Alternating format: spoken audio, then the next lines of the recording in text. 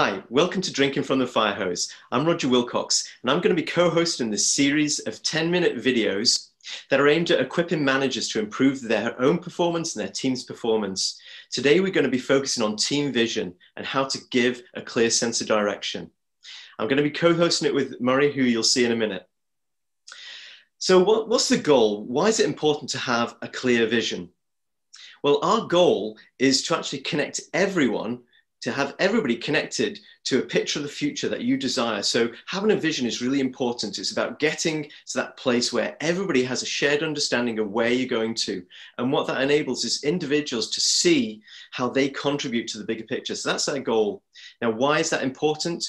Well, a powerful vision inspires people. If you have a mental image of what it's like where you're trying to get to, it really inspires you to do great work. It inspires your, your teams to give discretionary effort and it enthuses them. And also, people can see how they can make a difference. It ignites our passions. So rather than just thinking, I've got a goal to achieve this objective, this objective, if you have something like a lot of people have been talking about as net zero, it, it ignites people, it, it, uh, it, it, ignites their passions for doing something, it motivates them. And even in the midst of setbacks, we can actually build on it, get over those uh, setbacks and move on to the better place. So it's really motivating. Now, over to Murray at this point. Hey, Roger, thanks for that. Uh, I'm actually going to start off with uh, an example uh, that I've heard many times over the years. I'm not 100% sure if it's true or not, but it's a fabulous example. Uh, and it goes back to uh, NASA during their preparation for the uh, Apollo space missions. And there's a story goes that JFK was visiting Houston in of lead up to this and he came across on, on one of his visits, he came across a janitor, uh, you know, just in the open area with his mop or his brush. And he asked this guy, you know, what's, what's your role here? Uh, and he was blown away with the response because the janitor's response was, I'm here to put a man on the moon. And I've always found that such an inspiring story. Uh, again, whether it's true or not, it's a really inspiring story. And I think that's key, you know, regardless of your role within a team or within an organization, you're not just the janitor, you're a key part uh, in putting a man on the moon or whatever the vision may be. And I like that. And I think that's a real key part for any vision, uh, as you're saying, you know, that pictorial uh, version of, of where you're trying to get to. I think it's important people understand where they fit into that and hopefully see themselves as a valuable part of driving everybody forward, uh, regardless of what their role is, but they're still a valuable part to drive that forward. So I think you know that that helps identify, so unify individuals and under, really understand what their role is, and it potentially breaks down the silos. You're you're not just a small part of the team; you're a you know significant and key part of a wider team yeah. uh, striving to that goal. And again, it hopefully helps overall sort of land what your both your short and your long term goals are. Because I guess reality is some of these visions, a bit like the Apollo mission, takes a long time to get there but there's probably a lot of short term uh, goals and achievements in there that, again, if you've got the focus, you can drive towards that. Uh, so I guess next part for me is possibly the current performance. Uh, and this, again, is something we've seen, I'm sure you're the same, Roger, around many organizations. Part of it is how visible is that vision? Well, actually, do you have one? Uh-huh. and if so, how visible is it? Uh, and how up to date is it? I've been in many, many places where there's a sort of faded old version of a vision up on a wall that obviously is quite hard to buy into because it's five or six years old. So I guess that's a real sort of key check for anybody is do we have a vision? Uh, is it visible? Does everybody you know see it and understand it? Uh, and is it up to date? Is it still relevant? Uh, and I would guess in the, the times we're all going through just now, that may have changed significantly to what your vision was 12 months ago. So is it still relevant? Are people still bought into it?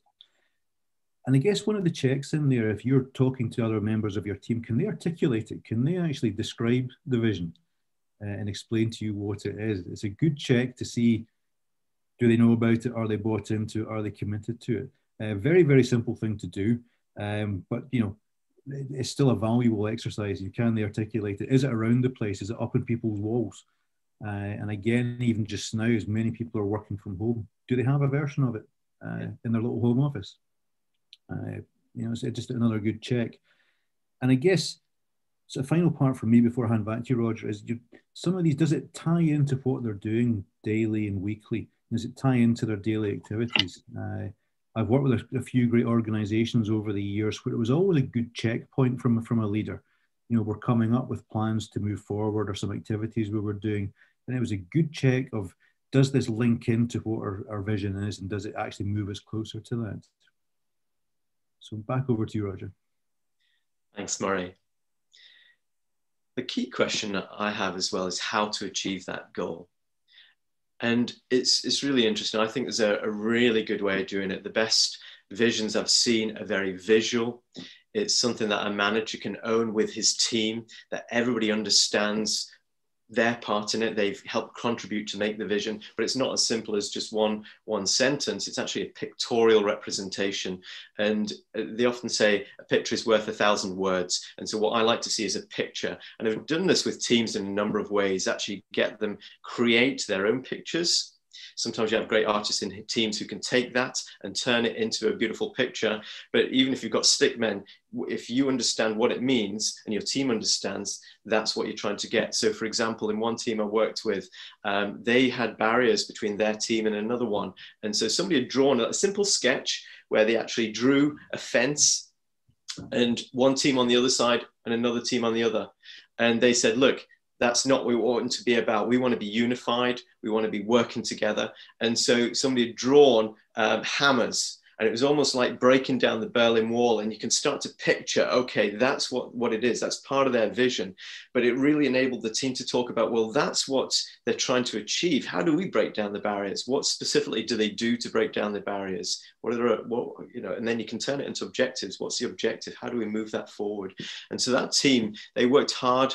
They brought in the other team into the vision picture as well. So they were unified on that. They all agreed it was the right thing to do. And to be honest, it was about sharing what they were doing with the other teams so that they understood what it was. They actually, um, some people came from one area of a, a, plant to come and speak with other people and see what they did. And it was incredible how they did break through those barriers. So, what I'd say is on your vision, what you need to do is identify what you want to leave behind. What are the kind of bad behaviors, the bad things that you're currently doing that you want to leave behind? What do you want to retain? And what do you want to add in the future? So, another one relating to behaviors, um, one team picture I saw, um, they, they had people who they said had negative attitudes that they wanted to change and they wanted to call them out on it. But beforehand, it was very uh, hidden. People didn't want to call each other out on it. So on the vision, somebody been brave enough to say, well, what we want is, and they've drawn a smiley face uh, with a big smile. And on that, they had a plus on the forehead, uh, positive attitude. And then they also had uh, a frowny face with a big negative, a negative attitude. And they put uh, across through the negative attitude one, a big tick around the, the positive attitude. And so when people were articulating that, they were able to say, well, look, we, we want to focus on positive attitudes and eliminate the negative attitudes. And what that enabled again, when people came to uh, their day to day work, they were able to call out and say, Hey, you're like that frowny guy, uh, leave that alone. And it was a fun thing, but it actually started to change the behaviors and actually resulted in them having a much more positive way of working. So I'd say identify those, what to leave behind, keep and add. I think be positive, specific and ambitious. So other areas where I've seen good visions, they've actually had a, a target. So on one I saw a good, it was a mountain, a picture of a mountain, and at the top was a hundred thousand barrels. And that was how much oil they wanted to produce in uh, 100,000 barrels per day on, on their platform. And so that was a really good example. And they all aspired to that. They, they, they worked very hard then to diligently set up plans on how to get to that. I think another important aspect of a vision is that it comes from the heart and not just the head. It's not about um, specific targets, but it is about being ambitious and identifying what's important. So over to Murray, any thoughts on how to achieve the goal of getting that, uh, that vision? Yeah, absolutely. I think just adding to some of that, Roger, that the, the coming from the heart, I think, is so key. I've always been amazed that people sometimes have some real sort of uh, hidden drivers that you're not aware of in the team. So, for example, if there's environmental impact of what you're trying to build into your vision, you may find that people are actually very passionate about the environment, are very passionate about safety or some other aspect of it. And I guess it gives them a chance to add into the vision something that, that yeah, they are passionate about. It comes from their heart. And I guess it comes from there, you're going to be easier to engage, and chances are you're going to work far harder to, uh, towards that goal, towards that target. Um, so, so, I guess it's another good way to help people articulate that and show uh, so where they're coming from.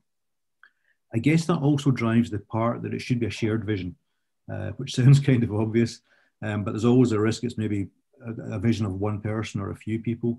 I think as you've been articulating there, again, everybody is part of that and everybody has a say in it is really, really key. So it is a shared vision and they all have a genuine part to play in it, uh, which will then help people talk about it, share it, share it with people beyond the team. Uh, and I guess the more you talk about it and the more you share it, the more it actually becomes real for you, becomes a, like a real genuine thing that you're driving towards. It's not just a picture, it's actually it's a real thing that we're, we're delivering. Uh, and just one final part I think to add into there is, as you were saying about these, like your happy face and smiley face on the picture. I've come across a concept a few times of above the line and below the line conversations. And I think there's a reality and it fits in really nicely to this that as much as possible, you want an above the line conversation, so positive, constructive conversation. And that's not always the way. There's plenty of people, and I've worked with many over the years, and I've probably been one over myself, where you've got below the line, slightly grumpy, moaning uh, conversations. And there's a bit of a realization in this concept that actually sometimes that's all right. So to dip below the line momentarily is okay because you just want to get that off your chest. You want to share a frustration or a, an issue. But to drive forwards toward the vision, you want to come back above the line again. And it's a good check. It's a bit like your smiley face in there of just as much as possible as we're driving to that vision, it's the positive above the line conversation, uh, which is much more constructive and hopefully a little bit more embracing with the with the rest of the team. Yeah. Thanks, Murray. And it's really interesting because what, what you've said there is it, it, it, absolutely resounds with me. One of the things I think is actually getting it visual. So as we talked about the, the above the line, below the line, if you can start to, to pictorialize that so that your team then start to talk about that together. Um, I think, you know, if we move on to the things we'd observe, um, if you get this right and you're actually sustaining it, that in, you'll actually see your team have a picture that people talk to, that people refer to, that they know, they have a mental picture of it, that they, they, they refer to regularly. Um, people gather around that vision, people talking about it at regular times. I think it's going to be really important. And you also hear people talking about how the things that they do relate to that vision. So that's back to that JFK story that uh, Murray told at the start. But I think what you'll also hear is people regularly talking and sharing about the vision. And I know, Murray, you've got a really good uh, story from um, um, a, a, chef who was doing some work. Do you want to just tell us that story about the chef and, and particularly about how he um, felt contributing towards that vision? Yeah, thanks, Roger. I think it's one I've, I've uh, shared in the past, uh, so apologies if you've heard it already. But it was actually from uh, an offshore platform, and it was one we were we had a vision of dramatically improving our water injection performance. So there was a real shared goal there, a real shared driver to essentially this platform was on plateau, so steady production. Uh, there was a chance it was going to start to come off naturally, so start to uh, decline. And there was a challenge from senior leadership to extend that plateau period as long as we could. So we had a vision of how to do that. And one of the key things was a bit like the JFK story, it needed everybody completely bought into this vision of extending plateau as long as we could. Uh, and it was massively successful. And in some of the points that we've, we've raised before, you know, it was very visual, it was spoken about. Everybody in the team, onshore and offshore, knew the vision, knew that, all the activities were striving towards this. And it was extremely powerful. And we actually, we achieved it. We got, we extended Plateau for about another three or four months, a huge additional value to the organization. So huge success. a big lesson we had in there is we, we came off that and then started to move on to the next vision. So what's the next thing we have to deliver? We stopped talking about it quite so much. Uh, and the field manager was offshore on the platform doing one of his regular visits. And he was challenged by a guy about why we weren't talking about this and why we weren't pushing it quite so hard. And this guy was a chef.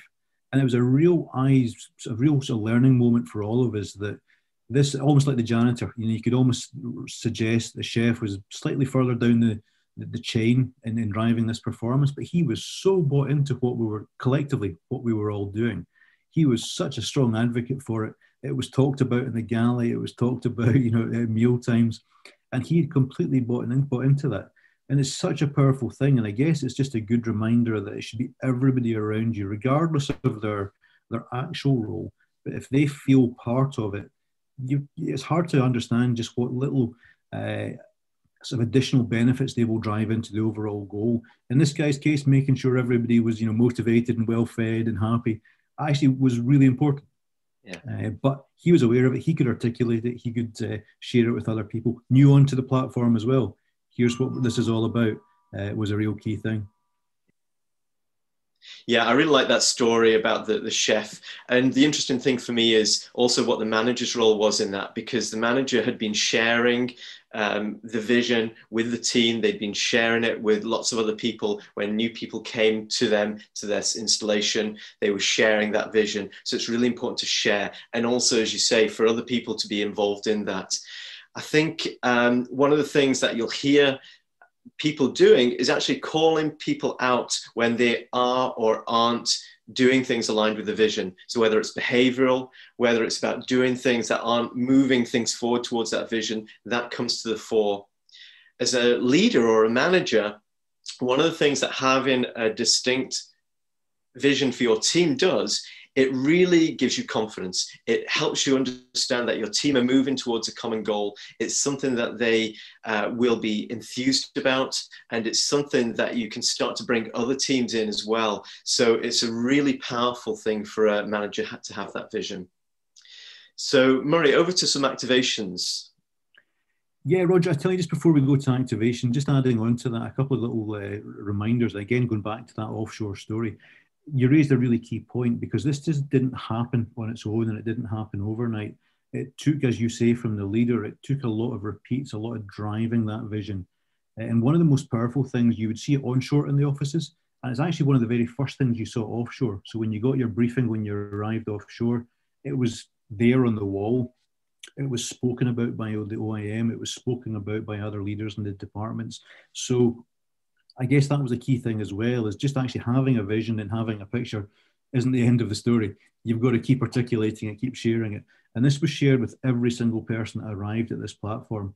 Uh, and to be honest, whether or not they had any part to play in the overall vision, at least they were still aware of what was happening. And that also drove another point you made there is it helped sometimes a little bit of a debate around our the activities we're talking about just now is that moving us towards this vision or is it going to impact it in, in some other way some negative way? Uh, and it was just a good reminder that you know we've got this clear vision. Is it helping us get there or is this something perhaps we could just uh, sideline for a little while until we get ourselves to the vision and then we'll maybe come and revisit it? Um, so again it's i think it's an all-encompassing thing. It spreads right across the organization and across so many activities um, so yeah, sorry, just wanted to add a couple of things in there. Um, yeah, on the activation, I think it's like many other things we've spoken about. I think it's one of these th- key things you've just got to get get on with it and do it. Um, but I guess one of the key starting points is probably you ought to have some sort of vision at the moment. So I guess one of the key things would be go and test that uh, understanding with your team. Go and ask them what is the vision.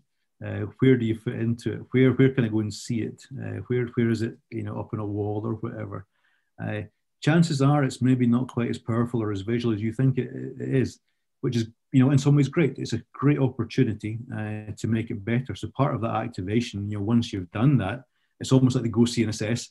Go see, you know, do we have a vision? Uh, is it still relevant? Is it uh, is it powerful? Are people bought into it? And yeah, maybe maybe it needs updated. So maybe the first part of the activation is: Do I need to do something about that?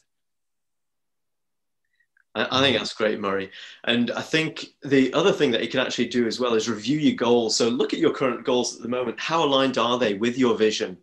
Is your short term goals, your long term goals actually going to deliver that vision or not? And if so, what changes are you going to make? So, what I'd say to you is um, really just go do it. Why don't you go do it? And what we'd love to see is if you could upload some examples of your visions onto the the, uh, the comments. That'd be really good. Um, it'd help inspire other people who haven't got those visions yet. So that's our, our charge to you. Just go do it. Yep, and I guess like uh, all the other sessions we've done, Roger, it's one of these things. We're here to help. Uh, so if you, you go try and do that and you're struggling with any of it, get in touch, give us a shout. We've possibly got some pointers and some uh, bits of advice we can offer. Uh, and as you say, yeah, we'd love to see what you come up with. Uh, just one final point, and that's a visual aspect of it. I've always been amazed because I am not artistic at all, but I've always been amazed that there's typically somebody in the team that is uh, that can possibly just scribble out a half decent uh, visual for you. Uh, and if you're completely stuck, if you've got a whole team of Murrays that are just not artistic whatsoever, uh, we, have got people that can do that. So it's actually quite an easy thing to pull together uh, a fairly decent uh, cartoon or, or graphic uh, visual. Uh, but as you say, Roger, yeah, I think the key thing, like like everything we're, we're, we're talking about in this series, is go go and do it, go and try it.